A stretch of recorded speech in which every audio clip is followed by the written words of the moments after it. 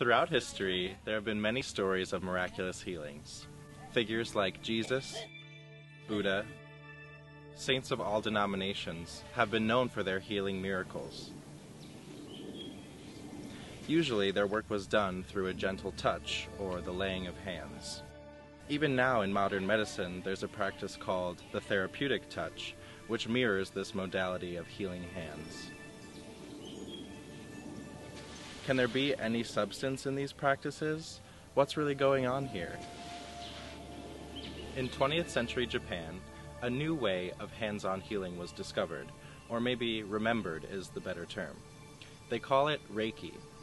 Reiki loosely translates as spiritually guided life force energy. This energy is used to promote relaxation, restoration, and propel one towards enlightenment. How are these age old healing practices really working?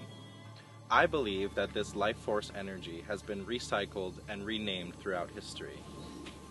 Yogis call it prana, Christians may say it's the Holy Spirit, the Chinese call it qi, and in Japan we call it reiki.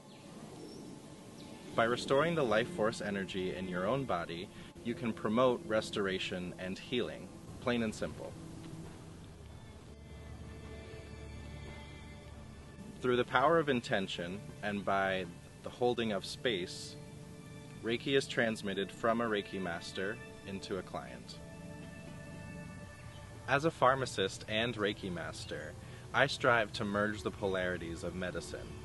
I want to find a deeper understanding of a holistic view of well being.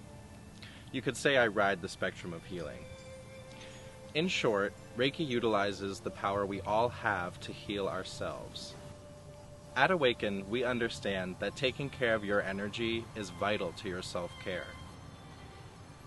Our Reiki branch is well equipped to help you on your healing journey in whatever way you may need. And the space of relaxation that we offer helps your body heal at a cellular level. We shift your energy usage from fight or flight to rest and digest, where you can just really find healing.